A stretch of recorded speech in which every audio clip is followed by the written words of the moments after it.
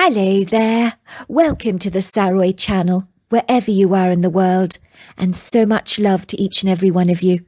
For those of you that like to get to the juicy story where you have the straightforward Bigfoot encounter, well, I've got that for you on this channel right now. But the full stories are really worth listening to and I've got them listed at the bottom because really just the Bigfoot encounter without the whole experience from the beginning to the middle and the end is really worth listening to. But if you just want to get to the juicy encounter that people have sent in to me, by all means, here are a few examples of them right now on my channel. So get straight into the business, shall we? And let's get started. To my amazement, I was grabbing a bunch of hair which I assumed was a warm coat of some kind that Olivia's brother was wearing, as rather strange one at that, I might add. Got him, Olivia, I cried. Your brother is over here. I've got him. I noticed Hank's strange fluffy coat smelt funky like he'd not bathed for a long while, which didn't surprise me at all because the reputations of little boys, I knew they would evade bathing at all costs. My friend came close with her flashlight, and the light lit up what we all believed was Hank. Much to our amazement and horror, it was not the mischievous Hank that I was actually holding down, but a terrified humanoid ape-like creature covered in long flowing dark hair. I immediately retracted my hand hold instantly, hardly daring to believe what I'd been pinning down. This curious anonymous creature was about seventy pounds, one foot wide and three foot tall, and it was covered all over its body with hair, it possessed a hairless, long, leathery face and was eyeing us with terrified eyes and looked just like a deer caught in headlights. I realized that this curious, funny little creature with a naughty sense of humour had been playing with us, but now that we'd actually caught him, he appeared to be very scared, reticent, and exceedingly shy. Suddenly we heard the most terrifying sound that sounded like a herd of rhinos gallivanting towards us at a hundred miles an hour. Whatever this thing was, it was faster than a cheetah and swifter than the wind. It bolted unhesitantly towards us with defiant, feisty determination, and whatever this critter was, it was charging towards her youngling with a worrisome, rather frantic look on her face. The creature was clearly the young one's mother, because it was very obvious by how protective, assertive, and maternal she appeared. She let out a long stream of monkey-like chattering that sounded like she was giving her youngling a piece of her mind and reprimanding him ever so severely. I could see the little creature looking sheepish, as if he knew he had misbehaved. The female critter grabbed her youngling, who proceeded to climb up his mother's back and sit with one leg dangling on either side of her shoulders. Suddenly the creature's reticence dissipated, and he sat there looking very jubilant, elated, and exceedingly pleased with himself. The mother glanced at us very briefly with a wary expression on her face that resembled an exhausted, exasperated mother who just about had enough of her child. Then she darted away very hurriedly. I sensed she didn't appreciate be being seen by us. We watched her moving like greased lightning, and with such seamless grace. All the while she was chattering in a monkey kind of language that sounded like a mother giving her kid a huge telling off. I had not seen the mother very clearly, but she looked like a human, only with long flowing dark hair. But she was elephantine in size. I would say she was ten feet tall, nine hundred pounds, and four foot wide, with very overlong arms that fell well below her knees. I could tell she was exceedingly sinewy and muscular, and had a very distinct cone-shaped head, and in her expressive deep-set dark eyes I observed a very distinctive red eyeshine in the dark. What the heck was that? asked Olivia excitedly. What was it? What did we see? What was it? I have no idea, I said. Everybody started to talk all at once. We were so excited. We were in rapturous awe. What did we see? We kept asking each other. What did we see? This was amazing. Look what I found, I said, showing everyone a large deerskin filled with acorns. This was what the critter was throwing at us. He was a naughty little thing. We all marvelled at what we'd actually seen, and when we told our parents about our amazing encounter, our parents unambiguously dismissed our claims and emphatically ascertained that we'd been tricked by someone in a gorilla costume or we'd seen a bear, but we had not observed what we claimed to have seen. All of us kids were quite simply disbelieved, dismissed and misunderstood. But we all knew what we'd seen, and it was not an Abe costume, nor by any strength of the imagination was it a bear. I think we all felt so frustrated and infuriated that no one believed our story. So we only talked about the encounter among ourselves, as everybody else clearly did not believe a word we said, and seemed to think that everything we said was fictitious and spurious. One Sunday evening, my friends were smoking at a gravesite. We tended to pick a place to sit at random, as Olivia believed it was nice of us to sit around a gravesite that had not been visited for years by a solitary soul. She thought it was a kind, generous thing for us to do, as the dead person was long since departed, and their memory had died along with them. I think they might enjoy our company, she would say. I thought it was a very odd idea, but Olivia was very influential. What a sad grave, said Olivia, sitting down on the grass and studying the grave curiously. She was using her flashlight to observe the grave closely. Look, the engraving has all be but been weathered away by time, and there is moss growing all over it, and the tombstone is so lopsided. It must be from the 1800s or before then, I said. Probably before then, said Olivia. Paula, one of my girlfriends, looked reflected as she started taking a puff of her cigarette. Do you think we'll ever get to see that awesome human ape again? she asked. That little creature was so naughty and cute. I can't believe you actually thought it was Hank when you were pinning him down, she said to me. It's amazing it didn't fight you back or run away or even bite you. I'm surprised it didn't bolt away, I admitted. I thought it would run away too when I saw what it was. It just seemed to cower in submission, and it seemed really afraid. I don't think we'll ever see them again, said Olivia, reaching for a cigarette and taking a puff. No, I think that mother's going to keep a stern eye on her little one from now on. I'm pretty sure of that. I could sense she wasn't pleased with the poor little criter. He only wanted to play tricks on us, but I don't think he intended to be spotted by us. We were talking for a long time, and three of the five girls were smoking copious amounts of cigarettes and stubbing them out on the earth around the tombstone, creating a messing ashtray in the ground that was very unsightly and untidy. Suddenly I felt very certain that something was watching us. I could feel eyes on me, and I looked up to see this man stand, standing yards away at us, goggling at us with a very annoyed look on his face. There's a man watching us, I said. Over there. Can you see? Look, there by the cedar tree. I did not hear him come into the cemetery, said Olivia, looking up at the man in surprise. How odd! You'd have thought we'd have heard him. I remember thinking the man was behaving very strangely, and his face looked unusually pale and white, and very distorted, and he looked like he was wearing a very, very heavy winter coat that rather reminded me of the German coats that were worn in World War II, which was strangely odd, because it wasn't even cold. The man stared at us for a moment longer, and then he appeared to disappear in the woods, which was also odd, because you don't exit the cemetery through the woods. Wow, I said, did you see that? He went through the woods. I wonder where he came from, asked Olivia. Did anybody see? It appeared that no one had observed a thing. We thought nothing more about the incident until the next morning when Olivia informed me that she was woken in the middle of the night to find her bed shaking violently. For a moment she thought there was an earthquake, but she was soon to realize nothing else was rattling in her home, which she found incredibly odd. She reluctantly returned to bed, and found her bed shaking all over again. So she looked up in alarm, and at the very end of her bed she saw the man from the graveside, who was standing there ogling her like he did at the cemetery. But then he vanished before her eyes, literally dematerializing. One second he was there, and then he was gone in a flash. I was so freaked out because I realized he had to be a ghost, she told me. We could not understand why the ghost had actually followed Olivia home, but the very next day it was Paula's turn to have an outer worldly encounter. She claimed that in the middle of the night she felt something was sitting on top of her body, and it felt so heavy that for a moment she was struggling to breathe because the pressure on her ch chest was so huge.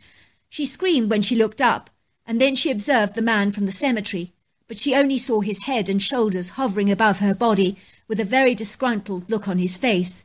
He looked as mad as hell. I've never been so terrified in all my life, she told us. I ran to my parents' bedroom, and I couldn't go back to my bedroom. It did seem weird that the ghost of the man from the graveyard had visited two of my friends, but I was to discover he had not finished with his visitations yet. The final person to be visited by the ghost was my friend Kate. She said she was fast asleep when she was awoken to someone violently shaking her body so hard as if they were trying to get her attention and wake her up.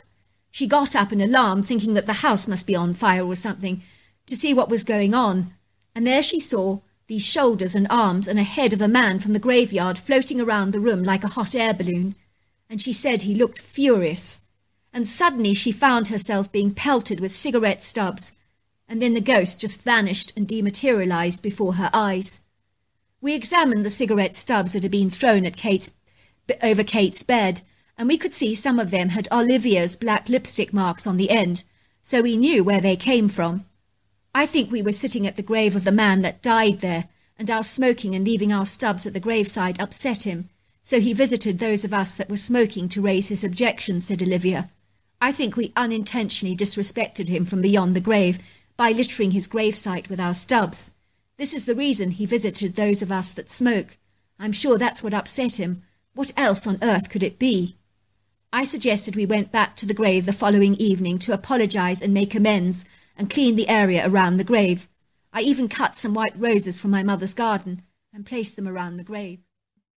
One day I decided to start driving my truck at night because it had been a hellish brutal summer with unrelenting heat and despite the air conditioning in my truck, I was getting fed up with driving in these tiring conditions, and so I decided to give nighttime driving my full attention, which is exactly what I invariably did. Driving at night was not without its setback, I promise you, as visibility is greatly reduced and services from dispatch are less reliable. However, I began enjoying driving at night because I could drive to my own destinations a lot quicker without the inevitable daytime hold-ups that swallow your time like whales with plankton. It was also cooler in the summer months, driving at night, which I tend to prefer. One night at about four in the morning, to be precise, I saw this figure walking next to the guardrail. It was the statue of a svelte woman, dressed in what appeared to be 1800s clothes. I didn't know this at the time, but after I did research online, I discovered the dress fitted the 1800s time period almost perfectly. She appeared to be wearing this long flowing dark russet dress that fell above her ankles, in it, and it appeared to have a very elegant high neckline and long sleeves. I remember thinking she was quite smartly attired, but what was she doing walking about at four o'clock in the morning, and being naturally protective towards women as I am, I pulled over to the side of the road to ensure that she was all right, because that's what a chivalrous gentleman would do. Lady, I said, it's not safe for you to be walking around this early in the morning when it's so dark outside. Can I drop you off to your home? For a moment the lady appeared to hesitate, and then reluctantly she stepped into the truck and sat reclined in the passenger seat next to me. I noticed she possessed a very graceful countenance, and her posture was impeccably straight. I also noticed that her appearance was rather unusual. It appeared that she had very long brown hair that had been braided on the sides, and had been and she even had a braided bun and some deliberate areas of loose hair strands that fell back below her shoulders that were clearly part of the attractive hairstyle that looked like she would, would be something a bride would attempt on her wedding day, but not for an everyday occasion. So where am I taking you to? I asked. I'll show you the way, she said, indicating for me to drive straight ahead, which invariably I did. Do you mind me asking what you're doing outside so late at night? I asked. I'm looking for Muskie, she said, suddenly growing very alarmed. I cannot find Muskie anywhere. Sorry, you've got me, I said. Who is Muskie? Muskie, she said. Muskie is my little white dog. I cannot find him anywhere. What am I going to do? Suddenly the strange lady started to sob. I cannot find Muskie, she repeated. I've looked everywhere for him, she cried, sounding so distressed. Barker says he's run away from home and is never ever coming back. How could he say something so cruel and heartless? I grabbed a tissue for the woman and turned around to give it to her, but she was gone. Now remember, I'd been driving and had turned away for half a second, and in a flash of light, the woman had just vanished. That wasn't even physically possible. It had happened far too quickly. For a long moment I could not fathom what could have happened to her because the lady sitting next to me had been as vividly real as you and I are. And I mean physically real. It wasn't like she was half there or ghost-like in any way. But there was no conceivable way for her to just jump out of my truck, without me knowing about it. I realized in a moment of shocked revelation that this woman must have been a ghost. But how can something so physically real be a ghost? But what else could she have been? As I continued to drive a few yards down the road, I saw the strange woman walking on the side of the road all over again, and I was so rattled and freaked out. The anomalous woman turned around and waved at me with a warm smile on her face, and she was lifting up the little white poodle to show me that she had actually found little Muskie. I tell you, she freaked me out so much that I just hightailed it down that highway as fast as I could. I know she was a benign, friendly ghost, but the experience nevertheless freaked me out and was something I have never been able to fathom or understand because she had to be a ghost. Of that I am certain. I had never believed in ghosts before, but if they were real, which they clearly are, I never imagined that they would appear as physically real as you or I are. It does leave me to ponder how many of us may have encountered ghosts among us without even knowing that they're actually ghosts. On one occasion at quarter past twelve at night, I noticed that there was this large figure standing in the middle of the road, and I realized at once it was a woman in a long fur coat, appearing to be bent over and examining something in the road. So I immediately got out of the truck to see whether she was all right. Imagine my amazement when she looked up at me, and I realized she was not a woman at all, but a creature covered from top to toe in long flowing auburn hair. She was standing over a smaller creature who was clearly her youngling, who was covered in hair, and he had big padded foot, but a massive piece of glass was literally lodged in his foot, and he was whimpering in agonizing pain. This larger creature was trying to remove the glass from the little one's padded foot, foot, but whenever she touched the corner of the glass, the little creature would slap her and let out a warning dog-like growl, because I imagine it hurt terribly much. At that moment, I forgot that those creatures weren't human. I don't know why, but I just did, and immediately sprang into action. Maybe it's because I did work on a stint with the ambulance service for a while, and I just knew how to react in adverse situations. I quickly rushed to my truck and brought out a large bag of ice and my medical supply kit, and I bounded towards the hairy creatures in the middle of the road, very, very confidently, not worrying at, uh, at all about my safety, because I didn't even think about it. I immediately took charge of the situation, and for some extraordinary unexplained reason, the creature just permitted me to help them, which I'll never ever understand why. I placed the block of ice around the whole area of the wound in order to numb the area for a good five minutes, and then I put my hand on the glass and pulled it out in a second, and the youngling was so surprised because it hadn't felt any pain at all, and it let out such a happy little whoop as if to say, Mummy, it didn't hurt. The two creatures were amazed that I'd got out the piece of glass. The mother took the glass fragment from me in her hand to examine it with one of her large sausage-sized fingers. She appeared to be absolutely fascinated by the glass. I could see she was testing it for sharpness as she wanted to study what had injured her youngling, and you could tell she was not pleased with the piece of glass that had harmed her baby like this. I disinfected the wound and wiped away any excess blood and then layered a bandage around the little youngling's foot, which was different to a human foot in the way that the large toe did not align straight with the rest of the toes. The feet were human-like, but much more padded underneath, and much more like a cat's paws, rarely spongy and thick. When the bandage was on the youngling's foot, he became so excited, he kept admiring it like we would admire a brand new pair of shoes. He kept lifting his foot to the left and to the right to examine the bandage, and he was thrilled with his new accessory and thought it was the most wonderful, exciting thing to wear. He kept showing it off to his mother. The little jubilant creature got up and managed to walk, and he found that he could walk easily on his foot, which clearly astounded and delighted him, and once again he made an ecstatic whooping sound to express his appreciation.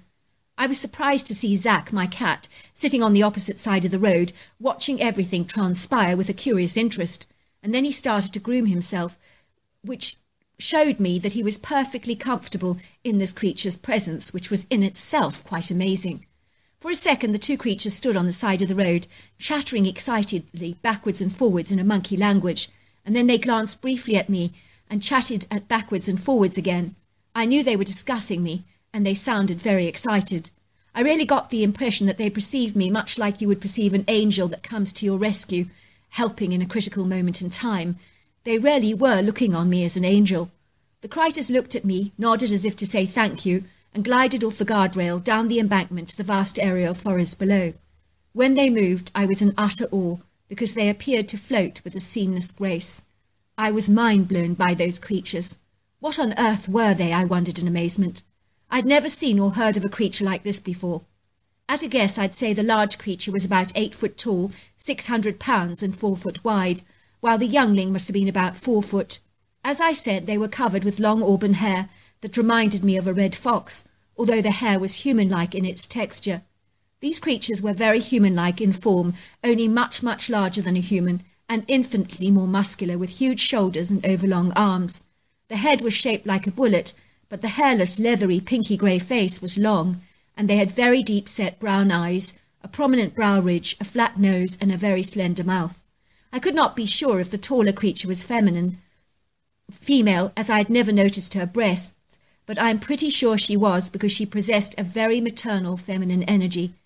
It did not even occur to me to be frightened of these creatures because they were so gentle and serene and so human-like that it was absolutely natural to help them who described the sound as very mechanical and exceedingly unsettling, and the noise went on for about 45 long minutes. Even more extraordinary was that one of the locals found a large circular burnt out area in a wooded clearing while he was out walking his dogs in the woods. It was quite literally a cookie cutter size of a colossal flying saucer that was burnt out in the grass. It was all very peculiar, and nobody knew what to make of it. Was this connected to the black-eyed children? I don't know. But I do know that they want you to invite them in, and when you do that, I'm almost certain that something very nefarious and very awful will happen to you. As Alice so eloquently put it, those are the devil's children, and I wholeheartedly agree, because there is no other way to describe them. Are those black-eyed children connected to grey aliens? I believe they are, but I guess that subject is open for debate. One day I got a call from a frantic resident to tell us that her son Stephen had gone missing in the woods, and he had been playing with his brother Philip, and then he just vanished during their game, and Philip didn't know where on earth he'd gone. Philip was in a dreadful commotion because his brother had vanished before his very eyes, and his mother was hysterical. We set out with a large search party to look for Philip, but we couldn't find him anywhere for three long days, and he was registered as missing and presumed dead. Three days later, he suddenly appeared from absolutely nowhere, and he had an extraordinary story to account. I had no reason to doubt that at the time he begged me not to tell anyone his amazing story for fear of being disbelieved or ridiculed, and this was his account as he described it to me. My brother and I were playing in the woods using our slingshots I quickly ran to a section of the woods to relieve myself, and I remember losing my balance, slipping and then somersaulting down this large hollow opening in the ground that was covered and concealed by dense overgrown shrubbery that you would never have known was there unless you'd actually seen it. It may have been part of an old mine shaft, I'm not sure. I must have hit my head really badly because it was throbbing violently and bleeding profusely. I do remember drifting in and out of consciousness, I also vaguely recall that Stephen was calling out for me, but I tried to answer him, and then I think I lost consciousness all over again, because everything after that went blank. I must have blacked out for a long while, how long I have no idea, but I do remember waking up and stirring very slowly and finding myself in this strange hollow, and everything was very foggy and blurry and confusing for me at the time. I was disorientated and very muddled. It was like I'd lost my short-term memory for a while. I couldn't understand how I'd got into this hollow, nor could I remember how I'd got here in the first place. I tried to climb out of this mine, but it was too deep for me to get out of it, so I was stuck there, and I kept calling out for help, but no one came to my rescue, and no one heard my desperate calls, and I screamed out for a very long time until I was completely hoarse and had almost lost my voice. I became very distraught and frightened because I was all alone in this dark shaft. My head was still hurting, but my memory did come flooding back finally, and I suddenly remembered my fall and how I'd ended up in this deep hollow in the first place. I felt hungry and thirsty and tired, and my dry mouth was parched because I was so thirsty. I was longing for a drink. I kept holding on to my, the vain hope that my family would come looking for me, so I called out again and again, but no one was answering my calls. I felt horribly alone and quite frightened, to be truthful. Suddenly I saw this humongous hand pull back the undergrowth like a curtain and tear it away. And then I saw this huge cone-shaped face peering down at me with, a uh, with an agog look on its hairless, leathery face. It looked shocked and surprised, but the face was so human, and yet it wasn't human at the same time. What on earth was this strange creature, I was wondering to myself, because it was unlike anything I'd ever seen. It had a very distinct brow ridge, a flat nose, a slender mouth, and a very deep-set, treacle-coloured pair of eyes that were actually quite warm and friendly, if I say so myself. I wanted to scream because for a moment I felt like a deer that was ensnared in a lion's den, and that this dangerous apex predator was staring at me as if it was I was a quick, easy, appetizing snack. But I did realize by the look that this clearly wasn't the case. The creature wasn't at all aggressive, but seemed amused to see me caught up in the old mine shaft, and if I didn't know any better, I could swear it was chuckling and laughing at me. I noticed the creature's eyes were incredibly warm, friendly, and kind, without an ounce of animosity, so I immediately lost my fear and relaxed. I did try to ask the creature for help by explaining that I was stuck in this mine shaft. Suddenly the creature jumped down to the area where I was sitting, and he landed at the bottom of the shaft, literally with the agility of a domestic cat. He had no problems landing on the ground. I was fascinated and realized that the creature had heavily padded human-like feet with a slightly angled large toe, and the feet were very human but humongous.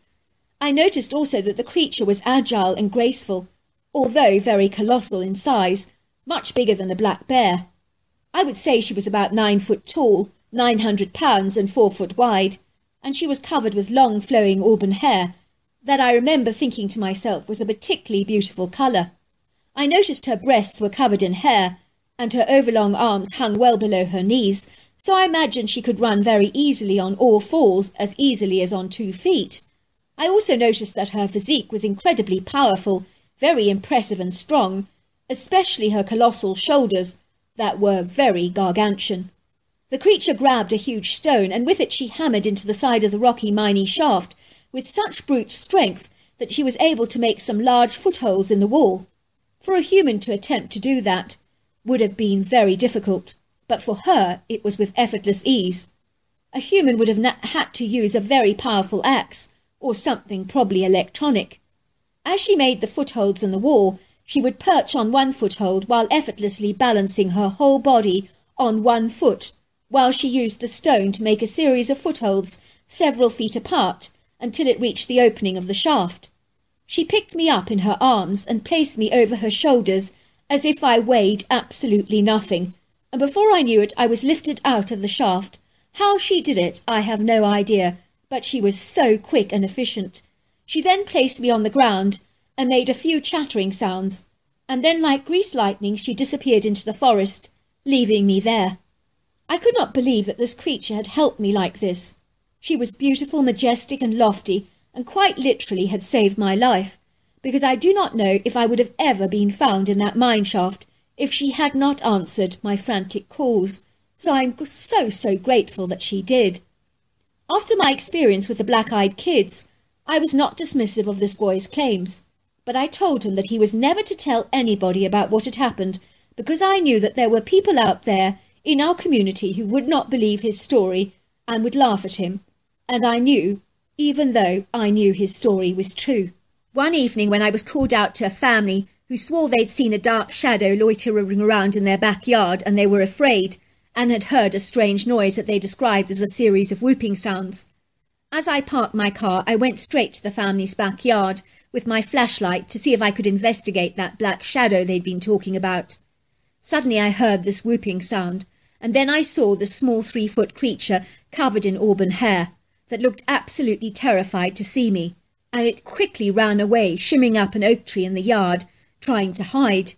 Suddenly I heard a very distinct whooping sound, and then the little creature, was looking at me through the trees in a worrisome way, but then it decided to rush down the tree like a fireman on his pole, and it thundered past me at a thousand miles an hour like a rhino, and it raced towards a tall figure covered in auburn hair that fitted the boy's description perfectly of the strange creature that had rescued him from the mine shaft. I think this could have been the one creature that had saved him. I got the impression that the little one had got lost and called out to his mother for help with those strange whooping sounds. The little hairy humanoid creature whimpered in delight to see his mother and jumped on her back, and off they went. For a second she looked at me with her treacle-coloured eyes. I remember thinking, wow, you're magnificent, whatever you are, because the creature was majestic, lofty, powerful, and beautiful, and when she moved, she was so graceful and as fast as a cheetah. I was so in awe of her. So there we are. That's the juicy bits of our stories tonight. I personally think you should go back and listen to the whole story because it makes it so much more exciting, because then you learn all about where it happened, the location, and all about the fabulous characters involved in the story. And that makes the story so much more gripping. But as I say so, go down to the description and then click on to the YouTube link, and then you will hear the whole story. Until next time, goodbye and good night.